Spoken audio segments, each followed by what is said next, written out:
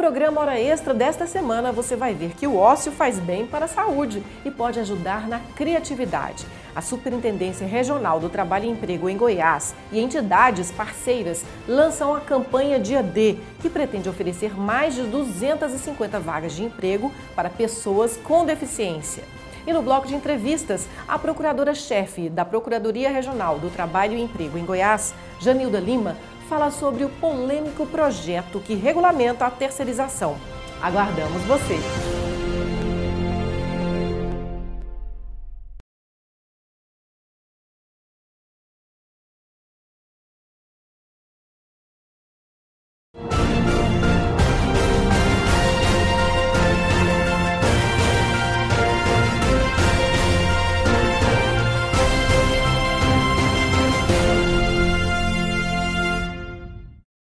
Começando mais uma edição do Hora Extra e neste programa você vai ver que o ócio faz bem para a saúde e pode ajudar na criatividade. A Superintendência Regional do Trabalho e Emprego em Goiás e entidades parceiras lançam a campanha Dia D, que pretende oferecer mais de 250 vagas de emprego para pessoas com deficiência.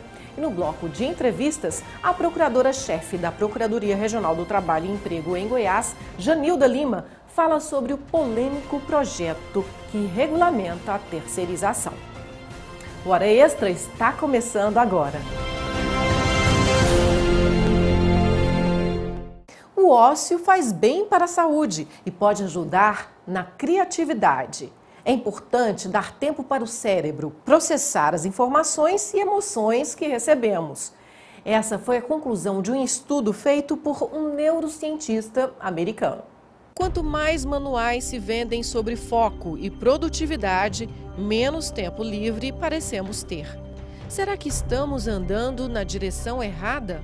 Essa foi uma dúvida levantada pelo neurocientista americano Andrew Smart, pesquisador da Universidade de Nova York, que lançou o livro Piloto Automático: A Arte e a Ciência de Não Fazer Nada. Para o pesquisador, a mente se torna mais ativa quando descansamos, porque não desvia a atenção para o ambiente externo.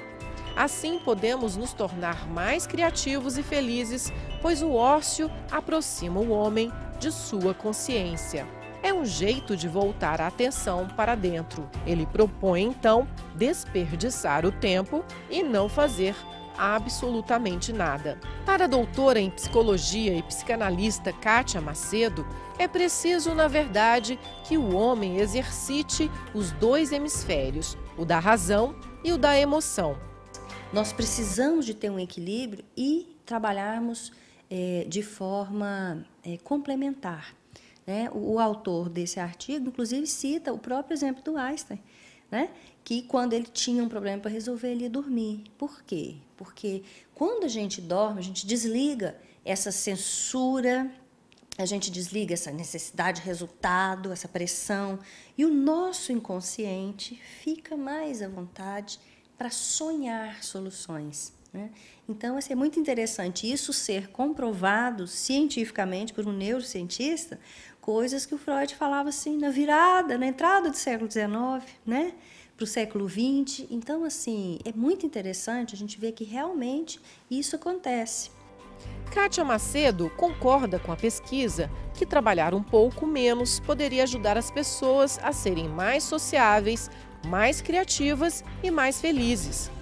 No entanto, ela ressalta que a realidade no Brasil é outra e leva as pessoas a se ocuparem em vários empregos e múltiplas tarefas. Muitas pessoas com exceção dos workaholics, que realmente eles ficam dependentes ao extremo do trabalho, para inclusive se constituir enquanto identidade, muitas pessoas não precisariam trabalhar tanto se a, o contraponto disso fosse um salário, por exemplo, que permitisse que as pessoas trabalhassem menos horas e tivessem mais horas para o lazer e outras atividades criativas. O que vem acontecendo em países como o nosso, em países pobres, em desenvolvimento, é que, pela própria condição da sociedade hoje, as pessoas, mesmo professores, médicos, profissionais liberais, eles têm, se veem obrigados a ter três, quatro vínculos empregatícios, quatro trabalhos diferentes, para conseguir ter é, um, um nível, uma média salarial que permita ter uma vida boa.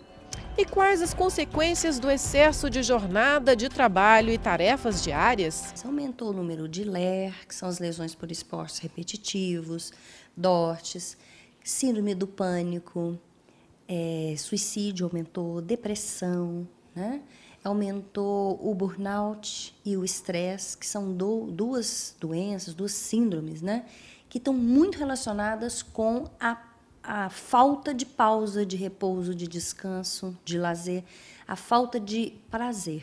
Para Andrew Smart, as empresas poderiam estender o ócio para todos os seus funcionários. Eles poderiam não atingir suas metas arbitrárias de performance todo mês, mas estariam mais contentes e saudáveis e, a longo prazo, mais produtivos. Para o neurocientista, é errôneo pensar que a felicidade virá quando se tiver muito dinheiro e uma carreira de sucesso. Ao contrário, ele diz que o que realmente importa são os amigos, as conexões sociais e algum tipo de propósito. A Superintendência Regional do Trabalho e Emprego em Goiás e entidades parceiras lançam a campanha Dia D, que pretende oferecer mais de 250 vagas de emprego para pessoas com deficiência no estado. Uma boa oportunidade para quem sonha conquistar um lugar no mercado de trabalho. A ação é uma parceria entre a Superintendência Regional do Trabalho em Goiás, a Secretaria Cidadã e o Fórum de Inclusão das Pessoas com Deficiência no Mercado de Trabalho, o FIT Poder. A expectativa é que a campanha Dia D ofereça em um único dia e local mais de 250 vagas de emprego a pessoas que possuem algum tipo de deficiência física. E nós, com o nosso trabalho técnico do Cine, estaremos também recebendo todas as pessoas com deficiência que estão interessadas nessas vagas de trabalho. Não sabemos ao certo é, para qual trabalho é. Por isso, a importância de vocês que querem essa oportunidade de estarem frente a frente com o empregador, com que oferta a vaga, é, fazendo a entrevista com você, que você vá até lá e busque dias melhores para a sua vida e para a sua carreira profissional. Essa será a primeira edição da campanha em Goiás, um esforço a mais no trabalho que já é realizado pela Superintendência, fiscalizando as empresas que possuem mais de 100 funcionários e que são obrigadas por lei a contratar pessoas com deficiência. Bem, a legislação desde 91 exige que as empresas com mais de 100 trabalhadores cumpram uma cota mínima de 2%, indo até 5% do seu quantitativo de empregados. No estado de Goiás, mais de 60% das empresas têm cumprido essa cota, mas infelizmente é, algumas não conseguem cumprir, busca a, a cumprir, mas não conseguem, e tem aquelas que não se preocupam em cumprir.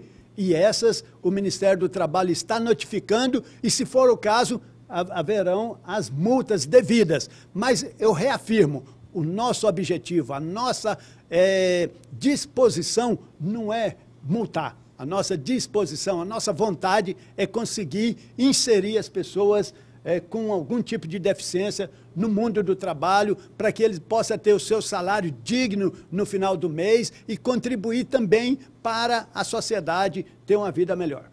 De acordo com a Superintendência Regional do Trabalho aqui em Goiás, em 2014, 862 trabalhadores com algum tipo de deficiência foram inseridos no mercado de trabalho. De janeiro a junho desse ano, foram mais 288.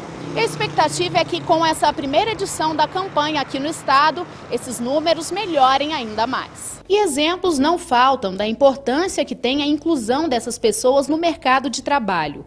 A estudante Jane Freitas, que teve uma das pernas amputadas em um acidente de moto, está se preparando para uma vaga de auxiliar administrativo e sabe bem o valor que tem uma campanha como essa somos qualquer pessoas normais, né? Somos, só temos alguma deficiência, mas precisamos de trabalho, precisamos trabalhar, precisamos sustentar nossas famílias. Então é muito importante que o mercado nos aceite, né? Somos é, qualquer trabalhador.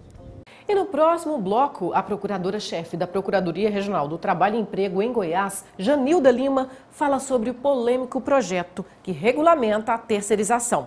Voltamos em instantes.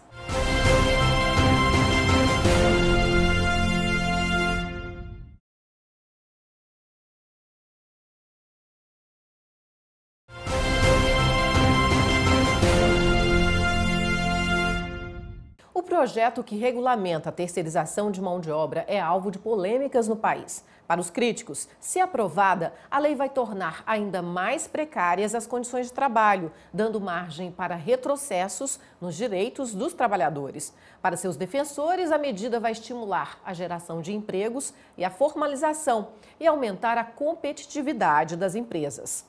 O Hora Extra já ouviu o presidente da Federação das Indústrias do Estado de Goiás, Pedro Oliveira, e hoje recebe a procuradora-chefe da Procuradoria Regional do Trabalho em Goiás, Janilda Lima. Muito obrigada pela entrevista. Obrigada, Fabíola, por, por estar dando essa oportunidade do Ministério Público também se manifestar sobre o assunto. E o que, que o Ministério Público do Trabalho pensa a respeito do projeto do deputado Sandro Mabel, que já foi aprovado pela Câmara dos Deputados e que prevê a regulamentação da terceirização? O Ministério Público do Trabalho, como um todo, é contra o projeto 4330. E por várias razões, né? É, por, por entendermos que ele vai precarizar direitos do trabalhador e causar prejuízos sérios para o Estado e para a sociedade como um todo. O presidente da FIEG afirma que a indústria brasileira está perdendo competitividade e o projeto seria bem-vindo. Segundo ele, o projeto, se aprovado, traria, traria aumento da oferta de emprego e valorização da mão de obra especializada. O que você pensa a respeito dessa colocação do presidente da FIEG? Olha, é, essa argumentação do, do, é, do presidente da FIEG, do doutor Pedro, é, também é ratificada pelos, pelos demais apoiadores, né, seja deputados e alguns senadores que estão apoiando, mas também citam outras características que podem ajudar nesse esse projeto de terceirização é, para, para o, o, empresariado, que seria a, a, acabar com a insegurança jurídica, né, é, dar maior competitividade, é, diminuir os custos e aumentar a produtividade. Essas são as alegações que eles fazem. Entretanto, nós entendemos que algumas coisas que eles estão colocando é, não estão sendo bem, bem esclarecidas. Por exemplo, é, eles dizem que vai aumentar, é, vai diminuir o custo. Vai diminuir o custo com certeza para as grandes empresas, mas para o trabalhador representará diminuição de salários porque não é possível que uma empresa, é, grande empresa, contrate uma terceirizada e pague a ela o mesmo valor que vai que ela é, o mesmo valor que ele que ele é, estaria pagando para os seus trabalhadores. Com, com certeza ela está querendo diminuir os custos. Se ela está querendo diminuir os custos, é porque ela vai ter que pagar menos para essa terceirizada. E essa terceirizada, por sua vez, como ela tem um, tira um percentual de 10% a 15% de, é, é, de administração para co cobrir suas despesas, ela vai pagar menos salários para os seus empregados. Então, assim, isso vai, é, até chegar no trabalhador, essa diminuição de custos, ela vai representar menos salário, menores salários, menores benefícios para o trabalhador que será contratado e, e utilizado pela tomadora. E a tão falada segurança jurídica defendida pelo empresariado, ela realmente, esse projeto realmente traria essa segurança jurídica para a sociedade, para todos, de um modo geral? É, por um lado, é, realmente eles estão certos, vai trazer é, é, é, segurança jurídica para as empresas, não para a sociedade e nem para os, os, os, os trabalhadores.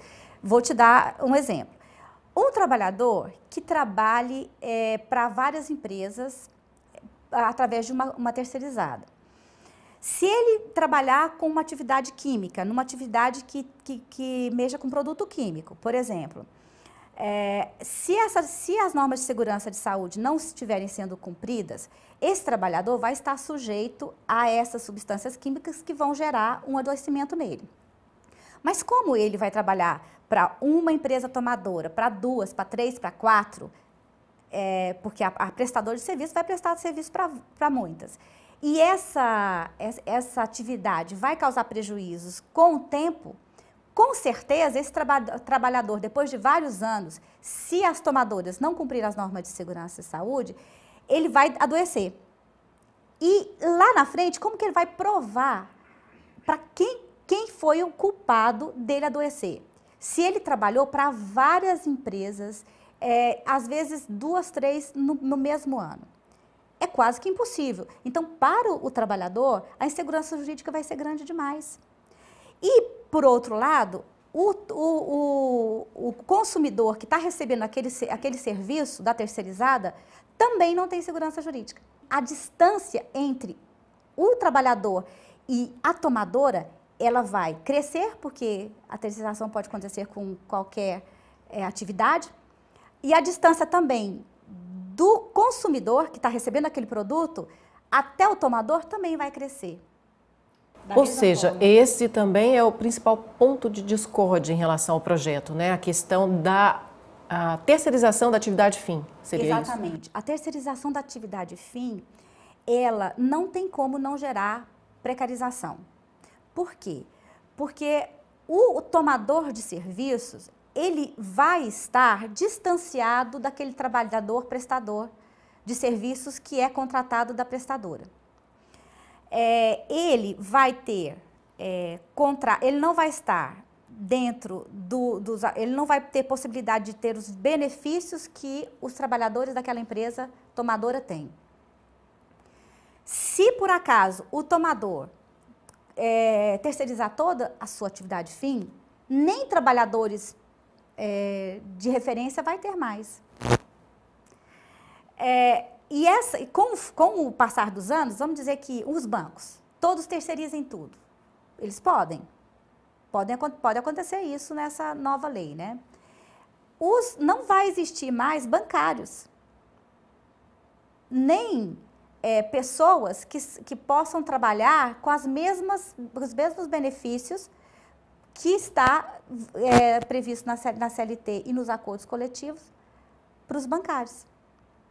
Então, a, a própria organização é, coletiva vai ser desestruturada. Porque os, os trabalhadores da prestadora não serão bancários. Eles não estarão na categoria de bancários. Porque as contratações vão se dar em atividades específicas e provavelmente essa atividade vai estar em outra categoria que não vai sofrer os efeitos dos benefícios e, e do piso salarial que os bancários teriam. E até a legislação, né? A CLT que prevê lei específica para diversas categorias seria des de desmantelada, né? Porque não Exatamente. perderia o objeto, né? Exatamente. Principal. Agora, uma outra coisa é, que eu acho muito importante, Fabiola, falar, e que é uma contradição, é que a terceirização, ela surgiu né, é, a partir da mudança do modelo, econômico, é, do modelo de produção telorista para o toyotista. O objetivo que era alegado pelas empresas para fazer a terceirização é que elas deve, teriam mais tempo para se dedicar à sua atividade fim. Ou seja, ela terceirizaria todas as demais atividades complementares da empresa, suplementares, né, que, não são essenciais, é, aquelas que não estão no objeto social, e se dedicaria mais àquelas do objeto social. Entretanto, o que se quer com essa terceirização agora é fazer algo é, inusitado e impensado no, na própria é, é, teoria da terceirização. Porque é, se antes se queria terceirizar apenas para se trabalhar melhor o objeto social, agora não se quer trabalhar absolutamente nada.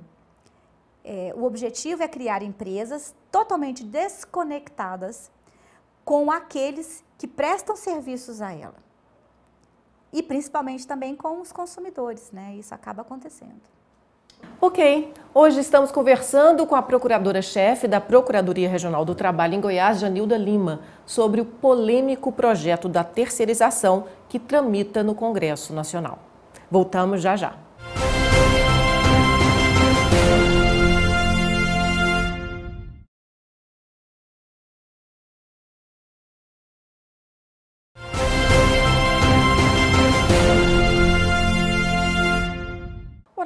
Está de volta. Hoje conversamos com a procuradora-chefe da Procuradoria Regional do Trabalho em Goiás, Janilda Lima, sobre o polêmico projeto da terceirização. Janilda, é, a opção pela responsabilidade solidária né, da empresa que fornece a mão de obra da empresa tomadora de serviços poderia inibir o desrespeito à legislação trabalhista, nesse caso da terceirização, ou não? Não, ajuda sim. É, essa opção é muito boa.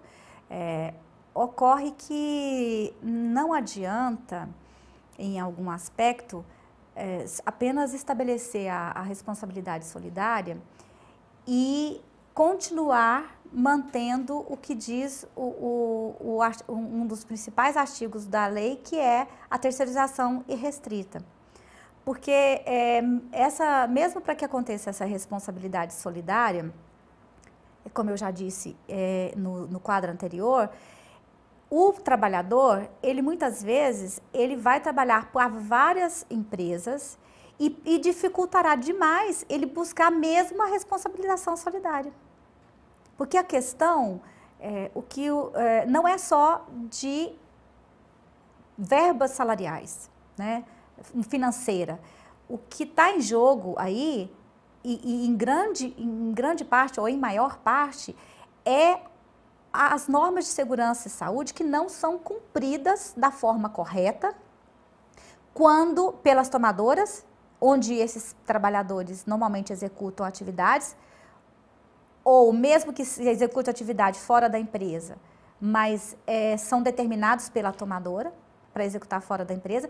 E lá, nesses locais de trabalho, precisa haver uma observância de normas de segurança e saúde. E é a tomadora que vai ter que se responsabilizar por isso. E para o trabalhador, isso vai dar muita dificuldade para ele fazer esse é, linhame entre a responsabilidade da tomadora e o, que, o fato onde ele, onde ele adoeceu ou o fato que levou ao acidente. Isso pode dificultar. No caso específico da construção civil, é, a contratação de mão de obra especializada é uma realidade. Sim. É, é uma área que permite essa, essa terceirização sem afetar tanto os trabalhadores? Não, na verdade, é, o, grande, o grande problema que existe é, na, é, entre o Ministério Público, a, a fiscalização e as empresas, quando acontece um problema de terceirização denominada irregular, é que essa noção de é, é, serviço especializado não está fixado. Então, muitas vezes a empresa, as empresas dizem que estão fazendo um serviço especializado e nós entendemos que não é. Porque o serviço especializado é aquele que é desenvolvido pela terceirizada de uma maneira assim muito específica. Ele, ele tem uma expertise diferenciada daquela que a tomadora tem. Ele tem instrumentos de trabalho, inclusive, diferentes. Então, é possível, é, com, com essa própria legislação, a gente trabalhar com essas especificações. Mas o que a gente nota na construção civil é que eles não querem apenas é, é, terceirizar serviços especializados. Querem terceirizar, inclusive, é, a, a, a, os serviços de, de, de estruturas hidráulicas, é, estruturas elétricas, que, na nosso entendimento, isso é da própria, é, da própria constituição do, do, do, das empresas, ou seja, do objeto social das empresas. Né? Então, é, eu acho que isso, isso poderia acontecer com essa legislação. Isso pode, ser pode haver terceirização de serviços especializados com essa legislação que nós temos. Não há necessidade de terceirizar tudo. E é possível se adotar uma solução equilibrada na razoabilidade entre os interesses empresariais e laborais nesse projeto atual que tramita no Congresso ou não? Olha, é, eu não posso falar por todos os colegas e pelo Ministério Público eu falo por mim, né, como, como procuradora. Eu acho que é possível se fosse retirado a possibilidade desse, desse, desse projeto de terceirizar tudo. Aí sim, porque esse é o ponto principal de discórdia do Ministério Público do Trabalho, da Justiça do Trabalho, com o, o PL 4330. O que nós não queremos é que a terceirização se faça de modo irrestrito. Queremos a regulamentação para as terceirizações que são legais, que é da atividade meio, né? Isso poderia acontecer, mas esse, essa, o problema é que o grupo que quer esse, esse PL aprovado não aceita uh, reduzir a terceirização apenas para as atividades suplementares. Esse é que é o problema. O que, que o Ministério Público do Trabalho pretende fazer caso o projeto da terceirização seja aprovado, promulgado? Bom, é, nós pretendemos é, é, ajuizar uma ação no Supremo Tribunal Federal buscando a inconstitucionalidade desse projeto, de, dessa lei, né, se ela for aprovada, porque entendemos que há vários aspectos que, é, de inconstitucionalidade na lei, né, especialmente esse aspecto que é, é, permite a terceirização irrestrita, né, porque o, o artigo 7 inciso 1 da Constituição, ele prevê a, a, é, a garantia de, da relação de emprego. Mesmo que essa garantia não esteja é, sedimentada em uma estabilidade, porque não, nunca foi regulamentado né, esse inciso primeiro, mas ele dá um norte quanto a qual, qual é o tipo de relação de emprego que a Constituição alberga. Essa relação de emprego é uma relação direta, não é uma relação terceirizada. É, a gente chama, a gente denomina isso de é, a, que a Constituição é, albergou o princípio da manutenção do vínculo de emprego. E esse princípio, ele, ele não só pre, pre, pre, prevê que os trabalhadores têm que estar diretamente contratados, mas tem que ter uma certa é, é, regularidade daquele contrato no, no, com um único tomador. Então, a, a Forante, e isso, existem outros aspectos também que nós entendemos que é, podemos é, alegar e conseguir a inconstitucionalidade do projeto. Ok, Janilda, muito obrigada pela entrevista. Eu que agradeço, Fabiola. Bom, Hora Extra fica por aqui. Obrigada por sua atenção. E não deixe de acompanhar mais notícias do TRT de Goiás pelo Facebook, pelo Twitter e agora pela rádio web do TRT Goiás. Até a próxima semana.